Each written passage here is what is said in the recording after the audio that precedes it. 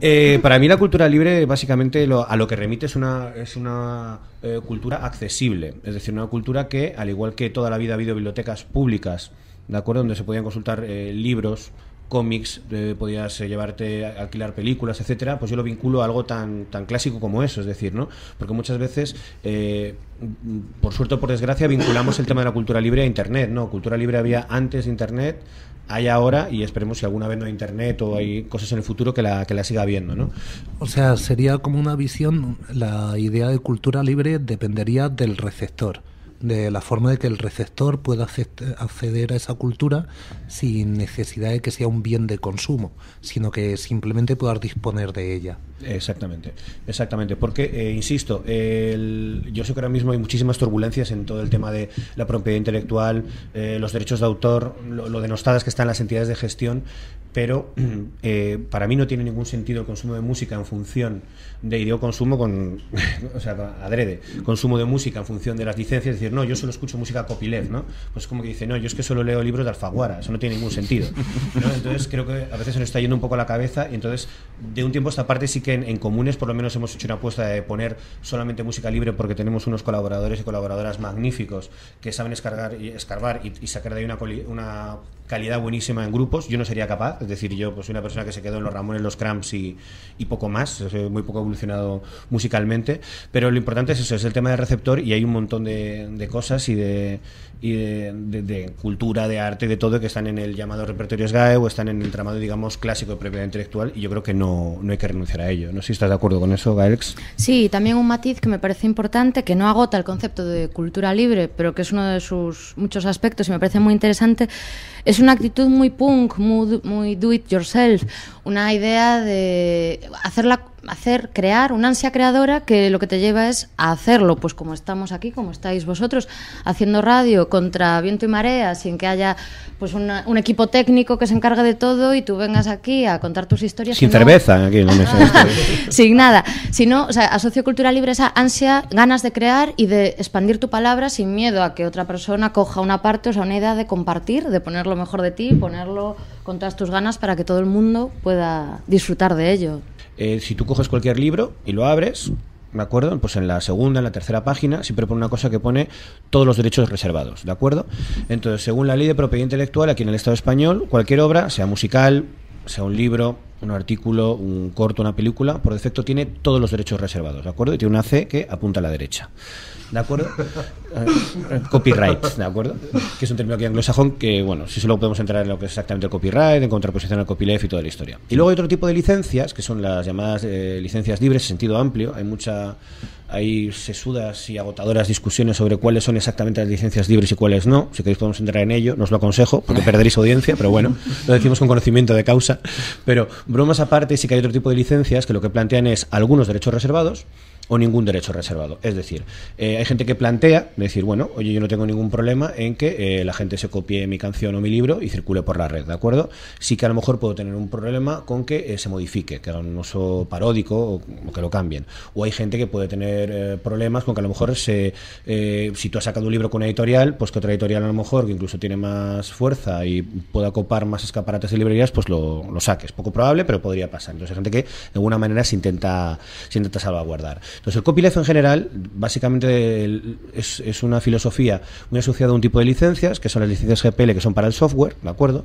Que tienen una serie de dinámicas que sí que valen muy bien para el mundo de la informática. Y luego está, por ejemplo, las licencias Creative Commons, que algunos puristas dicen que no son exactamente copyleft y que esas son muy interesantes para el mundo de la música, eh, de los libros o de, eh, pues eso, los audiovisuales. ¿Por qué es importante marcar esta diferencia? Pues porque tú no puedes hacer un uso paródico del software.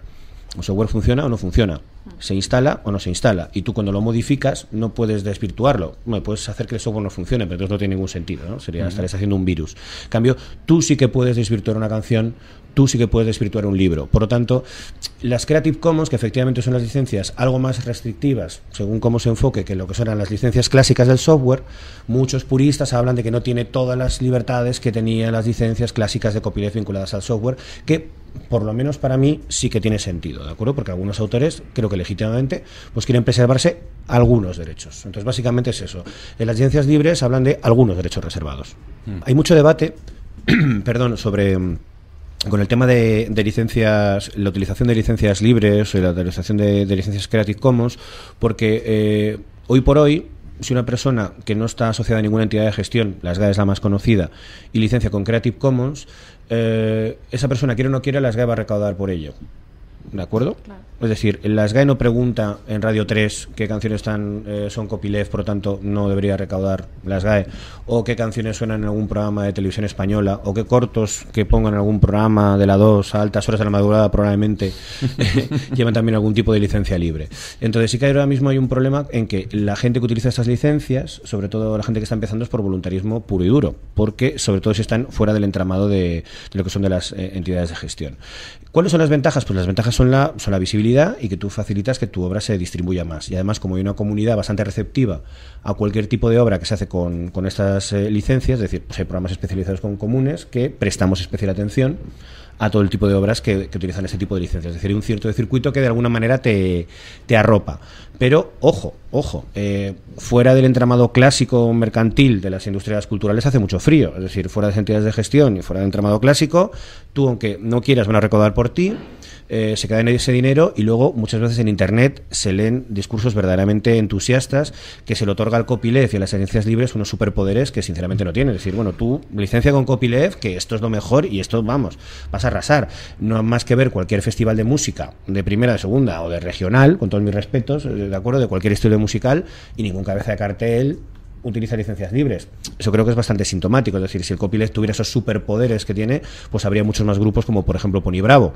¿De acuerdo? Y luego hay gente que está, como la canción de Héroes del Silencio, ¿no, Gael? entre dos tierras. No, no, estoy diciendo que te guste ese grupo, ¿eh? Dios me libre. Bien, eh, bien. Que es, por ejemplo, que es, eh, que es, por ejemplo, Nacho Vegas. Nacho Vegas dice que ha conseguido introducir las Creative Commons en, en, las GAE. Yo creo que eso es un poco discutible, pero bueno, él está apostando, haciendo una apuesta, al menos a nivel promocional de las Creative Commons, yo creo que eso ha sido muy interesante. Y recientemente vimos que en las GAE francesas, ACEM ha asumido también las Creative Commons, después de que lo hicieran sus equivalentes en Holanda, Dinamarca y Suecia. Es decir, que a poco, poco a poco estas licencias sí que se van popularizando, pero yo creo que todavía no tiene, desde luego no tiene superpoderes y todavía queda bastante para que se pueda hacer un uso normalizado entre un entramado que la gente quiera salir de lo que es el rollo amateur, que el rollo amateur y de fanzines y radios libres está muy bien, ¿de acuerdo? Pero hay gente que legítimamente también se quiere ganar las lentejas, ¿no? Entonces, para eso el uso de licencias Creative Commons es un poco más complicado. Las GAE no contempla que no haya nada fuera de su repertorio, por lo tanto, ella recauda primero y pregunta después. La manera de preguntar después son unos DVDs que son las llamadas obras pendientes de identificar, que se pueden revisar cada seis meses, ¿de acuerdo? Hasta un plazo de cinco años. Luego explico de los cinco años. Entonces, es la pescadilla que se muerde la cola. Solamente pueden consultar las obras pendientes de identificar la gente que es socia. Entonces, claro, si tú no eres socio, no puedes acceder a los DVDs pendientes de identificar. Por lo tanto, a las GAE se ha autoadjudicado la potestad de que a los 5, hay gente que dice que son 10 años, 5 o 10 años, las GAE dice, si este dinero nadie lo reclama, me lo quedo. Y eso no sale en ninguna ley, eso es una potestad que la, las GAE se ha, se ha autoadjudicado. Luego hay entidades de gestión que intentan que son un poco más sabias que las GAE, que cuidan más su, imagen corporativa, su imagen pública, como puede ser Cedro, ¿no? la entidad de gestión vinculada a la gente que, publica y edita libros. Entonces, Cedro dice que hace una búsqueda activa de autores. Depende si ve un y no encuentra el autor, que hace una búsqueda activa para encontrarle. Bueno, pues eso es mentira. Pasa que, bueno, queda muy bien en la web. Dice, ah, oye, los de Cedro son majos, hacen búsqueda activa. Bueno, pues es falso. No, me han encontrado nunca. Claro, Cedro, Cedro tampoco contempla que pueda haber gente que. Claro, porque son, son monopolios por sectores, es decir, solamente se da un pequeño grado de solapamiento. quería, preguntar: eh, ¿estas entidades de gestión son monopolios? O sea, no se puede crear una sociedad de gestión alternativa. Son, eh, son monopolios, y no lo digo yo, porque soy un gafas pasta que está en un programa Copilef, aquí con GAEX, etcétera. No, eso lo dice la Comisión Nacional de la Competencia, en un informe absolutamente demoledor del año 2010. Digo, para, para centrarnos un poco, porque muchas veces, como hoy las GAE tienen una imagen tan pésima y se les sacude, muchas veces con razón, muchas veces yo creo que perdemos un poco el, perdemos un poco el eje. ¿no? Entonces, eh, respecto al tema de las entidades de gestión, como digo, la Comisión Nacional de la Competencia emitió un informe durísimo diciendo que, excepto en el caso de los guionistas, que pueden, pueden elegir entre Dama y las GAE, el resto son todo monopolios en el sentido estricto del término. Incluso Teddy Bautista, cuando se le preguntó sobre el tema de qué pensaba si eran, eh, al, hilo del informe de la, de la CNC, si efectivamente estas las entidades de gestión si era un monopolio, decía, sí, pero es que hay monopolios buenos, decía Teddy Bautista, ¿no? Ah, claro. Antes de su detención. Él decía, sí, esto es un monopolio, pero bueno, hay monopolios que no, parece que no están tan mal. Aquí si me vais a prometer me voy a poner extremadamente duro. Vamos a ver, lo primero, los de Series Junkies son unas personas que ya vendieron la empresa hace un año, ¿de acuerdo? Esto de que se iban ahora de Series Junkies porque se había aprobado la ley SINDE simplemente ha sido una maniobra publicitaria para no hacer una empresa de, ni siquiera voy a decir de qué es, para que la gente ni la encuentre cuando utilice su, su buscador favorito. Es decir, por lo tanto, las consideraciones morales que me parecen estos personajes, bueno, mejor me las ahorro. Segundo, Mega Upload. Mega Upload es una empresa capitalista que opera en paraísos fiscales, que tiene asalariados y que trabaja con un montón de material que el material lo proporcionan gente que está a sueldo, lo que en el argot se llaman uploaders, ¿de acuerdo? Entonces, decir, tú, eh, hay un autor por ahí italiano que hablaba que estamos ahora mismo en una, una fase que es el, el socialismo del capitalismo, es decir, una fase en la que el capitalismo eh, se ha descentralizado totalmente y que es simplemente un dispositivo de apropiación. ¿no? Bueno, pues el, el ejemplo máximo de capitalismo como dispositivo de apropiación son empresas como Mega Upload, es decir, empresas que trabajan con material ajeno, algunos se lo proporcionan a los voluntarios, pero eso es absolutamente marginal, es decir, gente que tienen a sueldo, y en el entramado clásico que estamos planteando antes de entidades de gestión y de, y de era un modelo muy discutible y que algo, poco y mal repartido, pero algo de dinero llegaba a los autores. Con este modelo llega una cifra muy redonda. Cero. Cero. Por lo tanto, eso me parece extremadamente preocupante. Entonces, es decir, creo que con el tema de Mega Upload se están mezclando muchos temas, que están muy bien desgranarlos, es decir, pero claro, ahora de repente toda la gente tiene, una serie de preocupación por las garantías judiciales en Nueva Zelanda, porque han cogido unos señores, se han puesto unas esposas, pero vamos, eso, los campos de internamiento que hay en Australia como Gúmera, por ejemplo, ahí nadie abre la boca, al igual como los CIES aquí, toda la historia, la gente con otras cosas, de repente ahí sí que las garantías judiciales no les importan, o sea, toda esta gente creo que se rasga las vestiduras por Mega Upload, ¿dónde estaban cuando cerraron Egin? ¿Dónde estaban cuando cerraron Egun Cariá? ¿Dónde estaban cuando cerraron un montón de medios de comunicación? ¿A qué medios alternativos han apoyado? ¿Es Liberación aquí en los 80, ahora por ejemplo Público? No sé si me explico, es decir, que es que esto a mí me cabrea bastante porque estamos hablando de una empresa capitalista que se apropia de trabajo ajeno y parece que son aquí los adalides de A, la libertad de expresión, mentira, y encima B, que tiene algo que ver con la cultura libre. O sea, ¿cuánto copyleft había en? Pues algo absolutamente marginal. Ahí simplemente eran eh, contenidos pirateados y ahí pirateados en sentido estricto de la palabra, no como esto es pirata codazo, codazo, guiño, guiño. No, no, no, era una empresa montada para apropiarse de scores y todo tipo de series para que la gente pudiera ver que, pues la basura de cine americano y de series americanas. Porque ni siquiera había es como profecía autocumplida, ¿no? Es decir, lo que más mainstream es, es lo que más estaba en Mega Upload. Por lo tanto, perdóname que pongas un poco serio y un poco duro, pero me parece que es que hemos perdido totalmente el foco. Es decir, a toda la gente hablando de garantías judiciales y no sé qué, o sea, cuando no les preocupan otras, y eso no tiene nada que ver con la cultura libre. Mega Upload tenía que ver con el todo gratis, que es distinto. Que lo quiere defender, perfecto, pero la cultura libre no es todo gratis. Bueno, pues Telefónica, Ono, Yastel y sus equivalentes a nivel internacional tendrán que decir algo en todo esto. Porque la gente cuando se paga la DSL, que es para leer el correo, ¿Mm? que lo hace todo el mundo desde el curro. Para leer el Cervantes o el Quijote online, pues creo que es evidente que no. Por lo tanto, aquí creo que ha habido un modelo en el que se han sacado pingos beneficios. Efectivamente, Mega Upload ha sido demasiado, demasiado rentable, al igual que su manera, eh, en su momento fue Napster u otro tipo de, iniciativas.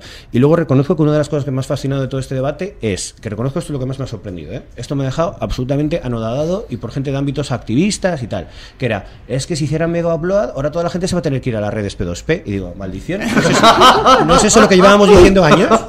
¿No? ¿No era eso lo que estábamos apoyando? Modelos descentralizados y de P2P. Entonces, eso sí que ya me dejó, o sea, una persona muy vinculada a temas de activistas contra la ley Siende, dice, la industria ha perdido una oportunidad tremenda. Digo, pues habría que ver qué industria. Entonces, no sé, yo mm, con el tema de Mega Upload estoy total y absolutamente mm, perplejo. Pero bueno, o sea, a lo mejor son, son cosas mías. No sé, tú, Garex, ¿cómo, ¿cómo lo ves todo esto? Que viendo hoy en el telediario, cuando detenían a, a uno de ellos, el- la mansión, el Cadillac rosa con alerones, etcétera, no sé, Tenía- muy, tenía- muy- perdón, yo vengo directo del trabajo. No, no he podido ver nada. Había un Cadillac rosa con alerones. Sí, en medio de un castillo de estos como que se había Nuevo trasladado desde Escocia hasta... Dios mío, que aprenda el señor Roca, de verdad. Ahora, ahora tengo admiración por ellos. O sea, Aún más, montar aún más todo- admiración. Montar todo este tinglado para poder tener un Cadillac rosa con alerones. Dios. Sí, no, aparte el... Sí es cierto lo que se dice porque muchas veces se manipula mucho la información, ¿no? Con, con ese tipo de cosas, cuando hay noticias relacionadas con la tecnología. Pero en el- hay, un libro muy recomendable que es una geografía que es escrita con seudónimo de Julian Assange de su primera época como hacker, cuando él era Mendax, se llama Underground. Y en el Underground lo que hablaba de una cosa que estaba muy, muy, muy mal vista era eh, todo el tema de. Bueno, no voy a hablar con argot. O sea, todo el tema de tráfico de, de tarjetas de crédito. ¿De? Bueno, pues el señor este que era fundador de Mega Upload, él venía de todo el rollo de, de craqueo de tarjetas de crédito, etcétera, y tenía alguna, no sé si denuncia o incluso sentencia en contra por, por ese tipo, ¿no? Es como dentro de los, de los crackers, ¿no? como la, el, el esca- el escalafón más bajo y muy, muy mal visto por toda la comunidad de, de hackers y de gente que opera a un nivel así. Un hacker de baja estofa. Sí, sí, sí, claro, están los hackers, están los crackers y luego está este. Independientemente del Cadillac rosa o lo que fuera, que vamos a ser un rollo nuevo rico absolutamente espantoso. vamos. Lo, que sí que detecto con, con bastante horror es que hay un discurso absolutamente esquizofrénico. Es decir, las mismas personas que llevan meses denunciando la ley Sinde y avisando que llegaban sopa y pipa y todo esto, y haciendo manuales para saltárselo, son las mismas que dicen que esto no vale para nada y que todos los contenidos se van a mover de servidor y que es todo inútil y una gran pérdida de tiempo. Pues entonces, eh, ¿qué, qué- problema hay? ¿no? O sea, si realmente son las leyes tan inútiles. Efectivamente, creo creo que sí que va a haber un problema sí que va a haber eh, más complicación para acceder a esa especie como de, de potlatch de contenidos gratuitos que hay por internet, sí que para acceder a determinado tipo de cosas sí que va a haber más problemas.